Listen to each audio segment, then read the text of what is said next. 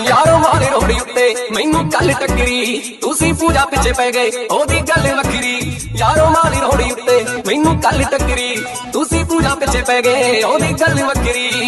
ਜਣਾ ਖਣਾ ਮਾਰਦਾ ਏ ਪੂਜਾ, ਇੱਕ ਮਿੰਟ ਬਈ। ਉਤਾਂ ਚੜ ਜਾਂਦੀ, ਯਾਰੋ ਲਾਉਂਦੀ ਨਹੀਂ ਮਿੰਟ ਬਈ। ਖੈਰ ਗੈਰ ਨੂੰ ਉਹ ਗੱਲ ਦਿੰਦੀ ਨਹੀਂ ਉਹ ਕਹਿਣ ਬਈ। ਸਿਰੇ ਦਾ ਪਟੋਲਾ ਏ ਪੂਜਾ ਦੀ ਛੋਟੀ ਭੈਣ